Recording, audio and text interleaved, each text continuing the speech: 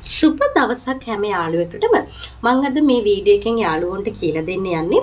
ඔයාලා අප්ලෝඩ් කරන YouTube video වලට ඩීටේල්ස් කොහොමද ඩිෆෝල්ට් එකක් විදිහට සෙට් කරගන්න කියලා. ඉතින් මම මේක තවත් ඔයගලන්ට පැහැදිලි කරන්න ඩිෆෝල්ට් එකක් විදිහට සෙට් කරගන්නවා කියන්නේ දැන් අපි වීඩියෝ එකක් අප්ලෝඩ් කරාම අපි ටයිටල් එක ඒ වගේම ඩිස්ක්‍රිප්ෂන් එක ටැග්ස් ඒ වගේ හැම වෙලේම එකින් එක වීඩියෝ එකට අපි දාන්න ඕනේ. ඉතින් මේ ඩිෆෝල්ට් එකක් විදිහට සමහර ඩීටේල්ස් ඔයගොල්ලෝ සෙට් කරගත්තට පස්සේ මේවා හැම වීඩියෝ එකම ඔටෝ එනවා. ඉතින් ඔයගලන්ට ඉතුරු ටික විතරයි ඔයගලන්ට ෆිල් කරගන්න තියෙන්නේ. දැන් ටැග්ස් එහෙම ඔයගලන්ට නිතරම ටයිප් කරන්න ඕනේ නැහැ. මේක ඩිෆෝල්ට් එකක් විදිහට සෙට් කරගත්තට පස්සේ හැම වීඩියෝ එකටම ඒක එනවා.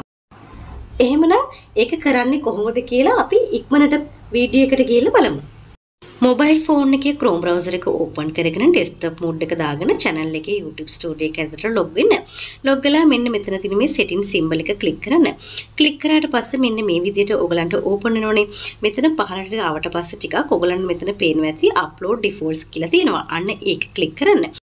ක්ලික් කරාට පස්සේ මේ විදිහට පෙන්වනවා මෙතන බේසික් ඉන්ෆර්මේෂන් වලට යන්න වීඩියෝ එකක් අප්ලෝඩ් කරද්දී අපි මුලින්ම ටයිටල් එක දාන්න ඕනේ.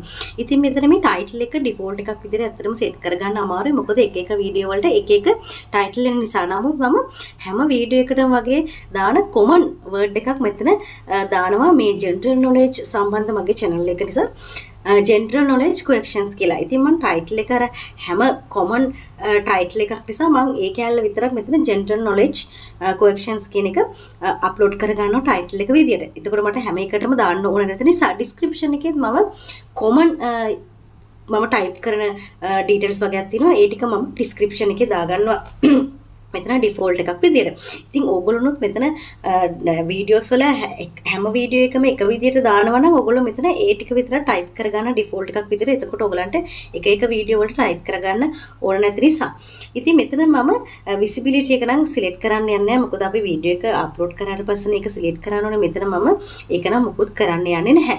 ඊළඟට මෙතන ටෙක්ස්ට් ටික ඔන්න මම කිහිපයක් දාලා තියෙනවා. general knowledge quiz question and answers කියලා. ඉතින් මේ විදියට ඕගලන්ට ඕගලන්ට අදාළ ටැක්ස් මෙතන දාලා තියන්න පුළුවන්. ඉතින් මෙතන මේ ඩිෆෝල්ට් එකක් විදිහට සෙට් කරගත්තම මේ විදිහට ඕගලන්ට එක එක වීඩියෝ එකට හැම වෙලේම විස්තර දදා ඉන්න ඕනේ. ඕගලන්ට මේවා ඔටෝම එනවා. ඕගොල්ලෝ අප්ලෝඩ් කරන වීඩියෝ එකේ. ඉතින් ඕගලන්ට ඊටු කොටස විතරයි පුරව ගන්න ඕන. මේ ටැක්ස් හිම ඕගොල්ලෝ ඔල්රෙඩි මේ විදිහට ටයිප් කරලා තිබුණා ඇත්තටම ලේසි ඩිෆෝල්ට් එකක් විදිහට. ඉතින් ඒක තමයි මම අද ඕගලන්ට මේ වීඩියෝ එකෙන් ඇත්තටම පෙන්වන්න අරන් ආවේ. ඉතින් මෙතන ඕගලන්ට ඔන්න මම තව GK සිංහල කියලා තව ටැග් එකක් මම මෙතන ටයිප් කරලා පෙන්නුවා. දැන් බේසික් ඉන්ෆර්මේෂන්ස් ටික හරි දැන් බලමු ඇඩ්වාන්ස් සෙටින්ස් වල මොනවද තියෙන්නේ කියලා.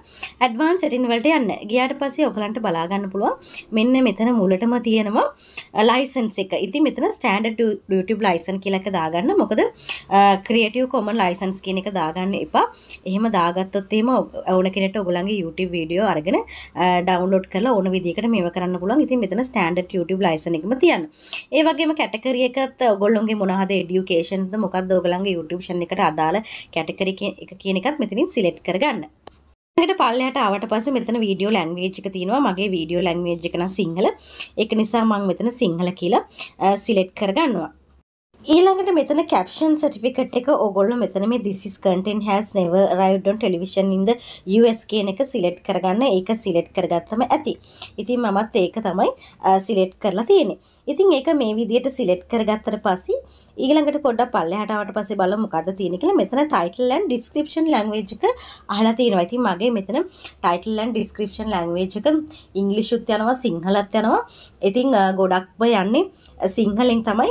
ඒක නිසා මම මෙතන ඒ ලැංග්වේජ් එකත් සිංහල කියලා සිලෙක්ට් කරගන්නවා. ඊළඟට පහලට ආවට පස්සේ කමෙන්ට්ස් තියෙනවා මෙතන ඔයගලන්ට ඕන විදියට ටික් මාක් එක දාගන්න පුළුවන්. ඉතින් කමෙන්ට්ස් ඩිසේබල් කරන්නත් පුළුවන්. ඔයගලන්ට කමෙන්ට්ස් හැමෝටම දාන්න පුළුවන් විදියට ඕල් කරලා තියන්නත් පුළුවන්. දැන් ඩිෆෝල්ට්ස් ටික හරියට ෆිල් කරගත්තට පස්සේ මෙන්න මෙතන සේව් බටන් එක ක්ලික් කරන්න. ක්ලික් කරලා පස්සේ මේක සේව් වෙනවා. ඉතින් මේක ඔයාලට හැම වීඩියෝ එකටම එකින් එක දාගෙන ඉන්න ඕනේ මේ වගේ ඩිෆෝල්ට් එකක් සෙට් කරලා තිබ්බම හැම වීඩියෝ එකටම ඔටෝ එනවා. එහෙමනම් මේ වීඩියෝ එකේ තියෙන ඩිෆෝල්ට් සෙටින්ග්ස් කොහොමද හරි විදියට සේව් කරගන්නේ කියලා හැම යාළුවෙක්ටම පැහැදිලිව තේරෙන්නේ නැති කියලා හිතනවා. තේරෙන්නේ නැති මොනවාරි තියෙනවා නම් අනිවාර්යයෙන්ම කමෙන්ට් සෙක්ෂන් එකෙන් අහන්න මම අනිවාර්යෙන් උත්තර දෙනවා. එහෙමනම් මේ වගේ ප්‍රයෝජනවත් වීඩියෝ එකකින් හම්බ වෙනකන් දැන් සමු ගන්න. හැම යාළුවෙකුටම Ta ta! bye bye.